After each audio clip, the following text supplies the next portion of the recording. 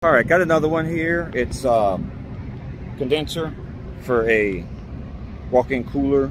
So called out here today because it was not reported as not cooling.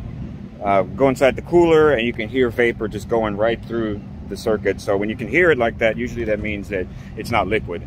Um, come up on the roof and I found this unit short cycling off of low pressure.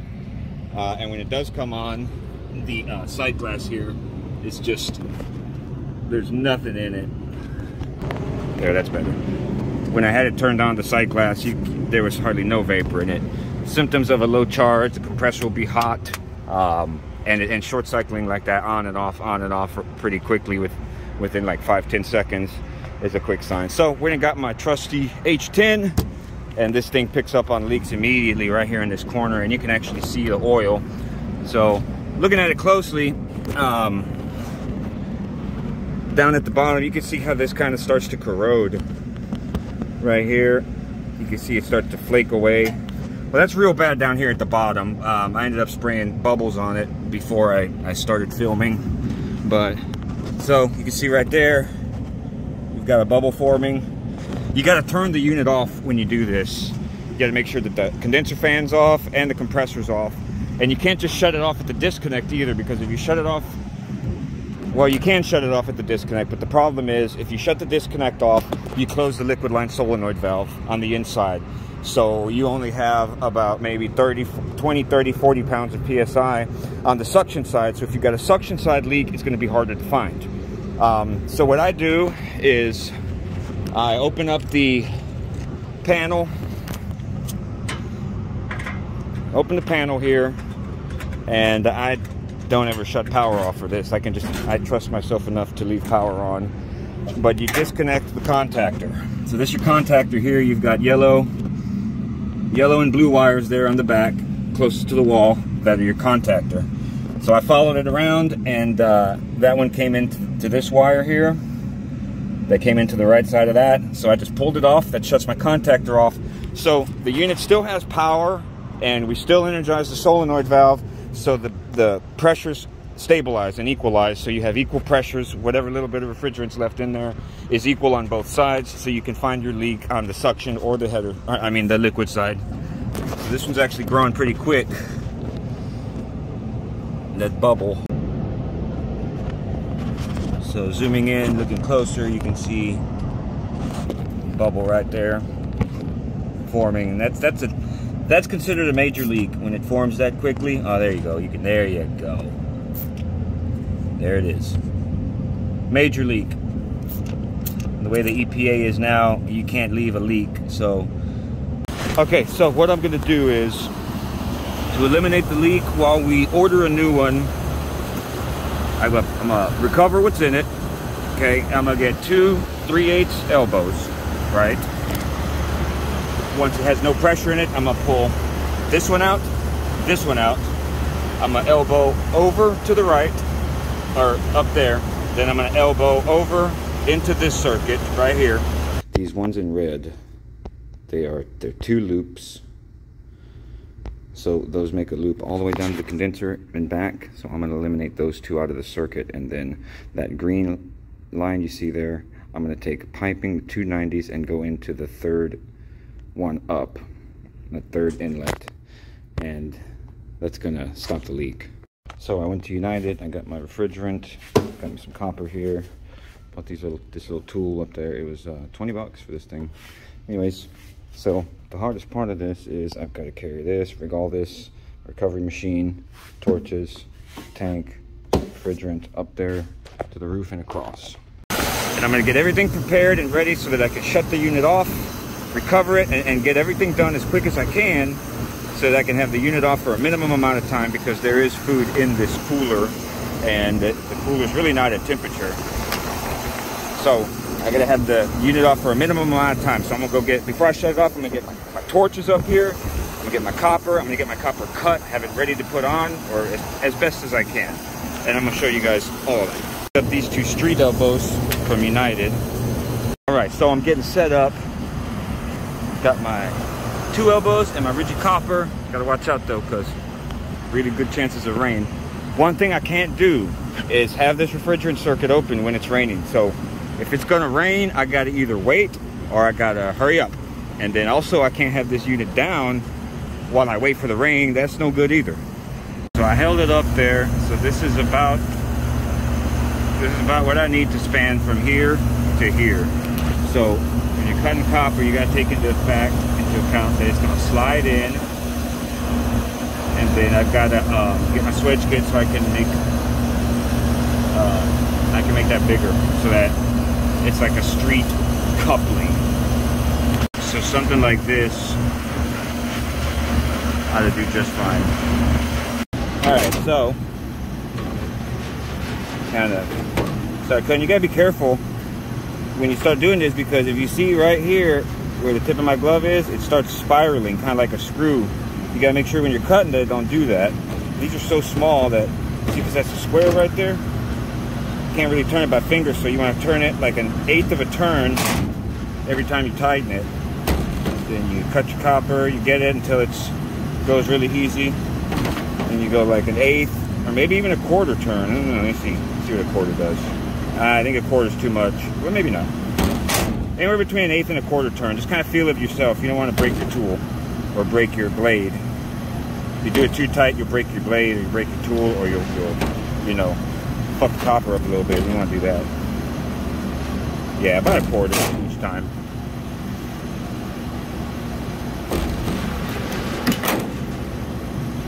there it is. So I'm gonna go get my swedge tool. And My swedge tool is, I didn't know what a swedge tool was before this year, is it grabs onto this and then it'll actually widen this so it'll make this like a coupling end and then this end and that's going to slide into this perfectly. Got my smaller side, it's to slide into the coupling of that elbow right there, and then this this will be a coupling slider, slide over that. So if any of you out there don't know, this is a swedge kit. Comes with these things. It's also it also does flaring with that, but this does great things with copper tubing. Specifically, it expands it so that you can make couplings and fittings and all that good stuff. So you'll see what I do with it. All right, so with the swedge kit, you get your piece, and it's 3 eighths, so it's gonna go in this hole right here. So you open her up, and you go, see, you go about, kind of like, I'm gonna go about that far, okay? Then close it off, get good, good grip on it, sometimes with these, if you can't turn it anymore, you have more leverage over here. So loosen that one, then turn this one a little more, then get this one more turned and closed, and then you have more leverage to turn it from this way. Then you find the, the, the part, fitting, whatever, out of the kit that matches the 3 eighths. So it's that one. So I'm to use this thing to shove this piece into the pipe thereby expanding it and making a coupling end out of it. Also, you got to uh, you got to make sure that you put this in uh, on the side that has the letters. So, so I'm to loosen this a little bit, and then I'm to push this over. Sorry, I keep putting y'all on the bottom of the screen. So like that. Leather side. Alright, so once you have this all together, put it on there, put that in there. You gotta get it to where it turns and locks into place, see? Once it locks into place, you begin turning it, and then you push it all the way through. If I can get this on camera.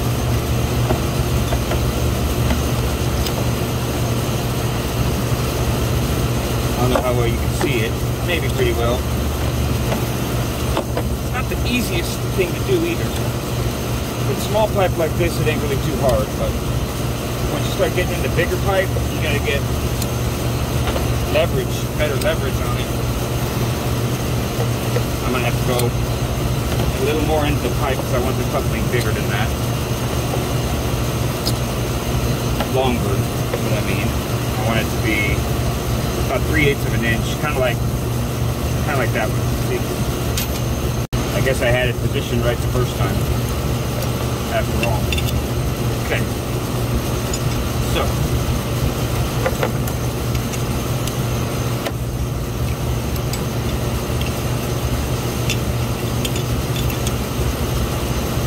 continuing here. Oh, I see now. You can only go as deep as this is going to allow you. This is going to bottom out on the on the metal die. I guess it's called die. I don't know. So that's as far as I can go with it. Good enough. Alrighty then. So now I've just extended my offset. That's my offset now. Let's see. Think that's to be perfect. Damn. Sometimes I'm good, man. Shit, I'm good. Take your sandpaper, right? And split it down the middle. Okay? And these are much easier to work with when you're playing with copper that's small like this. I'm even doing a thinner one because I've got to get, I don't have to, I suppose, but I like doing things right. But I'm gonna get in there See, right there. So I need one that is small, you see? I'm gonna go over this again, not just for you, but for me. Over on the other side, we've got loops like this, all the way down to the bottom. You can see here, they're diagonal, they angle up, and it's like that. I don't know if you can see it. All the way down to the bottom, they're like that. So, when you look at it on the other side, we know that on the other side, we've got a loop that goes from here to here, okay? So this one goes down, comes back, comes here. The flow of the refrigerant is this way. It's coming this way. Coming in here and out there. So, then it's gonna go all the way down, okay? And on the other side, it loops back and comes over here. So this is away, this is refrigerant coming back, and then into here, okay? So I was wrong a minute ago. I'm actually doing this one, so I'm gonna sand this one real quick. See, I'm glad I double checked myself. Always double check what you're doing before you do it. All right, I got that sanded just about as best I could. So, this is the plan right here. Recover. Get it down to zero PSI. Pull out this one, this one. Unsweat this. Pull it back a little so I can cut it. Cut it with my tubing cutters. Then this is gonna go right into there, offset. I'm not gonna be able to record this, so I'm gonna do it. I'll show you a clip here in the middle when I have these out, and I'll show you bits and pieces, but when I'm using the fire, I'm not gonna be able to record it. Now, on most systems, when you power off the disconnect out here, you're gonna kill power to the evaporator and the liquid line solenoid valve. So your solenoid valve on your liquid line, wherever it may be on the liquid line, is gonna close. While this step here is not necessary, I like to unhook my contactor make sure your power's off before you start poking around in here. Disconnect my contactor, okay, and turn this back on. This will keep my compressor my condenser fans off and open my liquid line solenoid valve. Now I've looked at this a little closer. I'm not gonna have to recover the whole system. I can isolate the condenser with this valve here, which is on my discharge line between the discharge, I mean between the compressor and the condenser. So I got the valve over there, right down there. And then I've got the valve right here. So I close both of these valves and that isolates my condenser coil. So most likely on this system, both ports on these valves that I'm gonna valve off will not connect me with the circuit I have to empty. So we've got this one right here, this extra one that's just there. You know, you wonder, well, what's that for? Well, that's for this. When you isolate the coil, you gotta connect to this one. Okay, once I'm connected to that one, I'm ready to shut the unit down and close both of my valves. It's gonna be the one on the receiver right here and the one on the discharge line. That's gonna isolate my condenser. Okay, I'm valved off here and on the receiver. I'm gonna start to recover the condenser coil, which is isolated. All right, so recovery has begun on the condenser coil. It should not take very long to empty that coil out. And this refrigerant jug should be more than enough So, made another video about recovering. Uh, it's on the same system, but you guys are welcome to watch if you want some other information. Um, but I was saying in there, never walk away from your recovery machine. Don't let your can get too hot. Uh, always purge your lines. Keep non-condensables out. Uh, don't let this get above 400. In my case, my machine starts shutting off at like uh, 375. It shut. So like at 375 pounds, my machine shut off. It might have a safety built into it, or it could have a weak unit or something. Because I've actually never had one shut off on me like that at 375. But whatever. So we are recovering the condenser coil only because I closed that valve, which feeds the condenser. And then I closed the receiver valve, which feeds the other side of the condenser. Okay, so it's been running about five minutes and it's uh, it's it's empty. It's good. Okay, my condenser coil is empty, zero psi. So here we go. I can't record this. I wish I could. I probably could, but it wouldn't be good quality. So I'll tell you, I'm gonna hit heat this up. First, I'm gonna heat the bottom one up. Then I'm gonna pull it out, so I have some room to work. Then I'm gonna heat this one up. I'm gonna pull that loop out. I'm gonna heat this one up and pull that loop out, and then I'll be back. Okay, there we go. So make things go faster. Use wet rag. This one kind of already dried some, but it's still hot. These are fucking hot too. You gotta watch out. Don't let this hot stuff get on the roof and melt a hole. The store won't like that. Oh shit. Um. Okay, so you see here, right there, my copper broke instead of sliding out. But that's okay because that's not gonna have pressure in it when I'm done. Right? Because these go down there and loop back. So this is a loop with this one and this is a loop with this one. Me going from here to here, there's no pressure there. So I can leave that alone. Now, now, now, what I got here, it's gonna go right there. You see? You see? Uh-huh. Perfect. Perfect.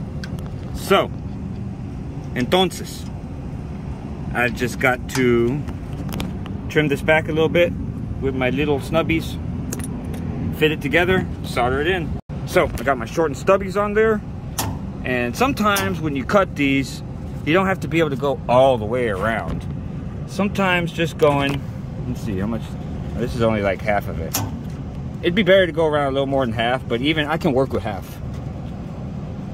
Do in those cases, like if you can't get all the way, take it off, turn it around. By taking it off and reversing it, you can get the other side.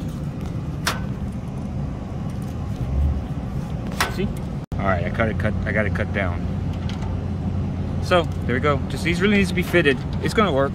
And then I got space in my couplings to slide to make up for the like I'm see how I'm a little short right there? Kind of. It's like a little short. Well, it slides with the coupling. Yep. Bam! And that is how you fucking do it. Just like I planned, see? I like it when things go the way I plan. So, we're ready for some heat. This one doesn't really want to slide in, but once you get it hot, it slides in nice. Nice and perfect. All right, just like that. It's soldered, part of the circuit. Now, the leak has been eliminated. Should have been. Now we can uh, go about pressurizing it. Of course, after we cool it down, because it's fucking hot. Uh, pressurize it and see, unless you don't want to get the bad news, at least test it and see if what you did is going to make a difference or not. In this case, we're going to be replacing this condenser coil because this store's no cheap ass, and they're gonna they're gonna get a new coil. But in the meantime, EPA will not let us, or at least my rules say, that we're not allowed to leave a leak unresolved. So if I wasn't able to get this patched somehow today, the system would have had to be down. I couldn't add refrigerant to it without, you know, that, without fixing it. But as you can see, look, see, this coil, this coil done. See if I can get freaking zoom, I mean, focus. That's better. So, I mean, just check it out. It's just a matter of time before the rest of this coil leaks. So they, they got to replace it. And that, this, what I just did, will fix this part. But what about these other parts? Those are going to go soon. All right, so now once my repair is made, I'm gonna close this valve off and I'm gonna check for leak. Open this receiver valve. A little bit. Okay. I'm open both of them up and come back. Okay, so it's back on now. And running. Let's see. Actually, I think I'm gonna shut it down. Yeah, I'm gonna shut it down for this. All right, here we are. It was really bad over here earlier. I got it. So the leak was right here. Right here on that one. So, no more leak. Alrighty then, restart and recharge, top off, all within compliance of EPA. All right, so it's all walking apart from here. I'm gonna go ahead and end it. I'm gonna charge it up until we got a clear sight glass and I'm gonna stay and make sure that the box gets down to temperature. Once my sight glass clears here in a few minutes, I'm gonna walk down, check the temperature of the space. It was at uh, about 48 when I got here this morning. Um, then I'll come back up here. While I'm down there, the refrigerant circuit will be able to stabilize some. When I come back up, I'll make sure my sight glass is still clear. Make sure it pumps down before I go. And that'll be done. It'll be time to go home. All right, so I went and checked. It was 42 degrees. That was at, let's see, 254. All right, that's gonna do it for up here. Got the sight glass cleared, made sure it pumps down. Got this hail guard back on, which if you don't know how to put it on, it can be tricky.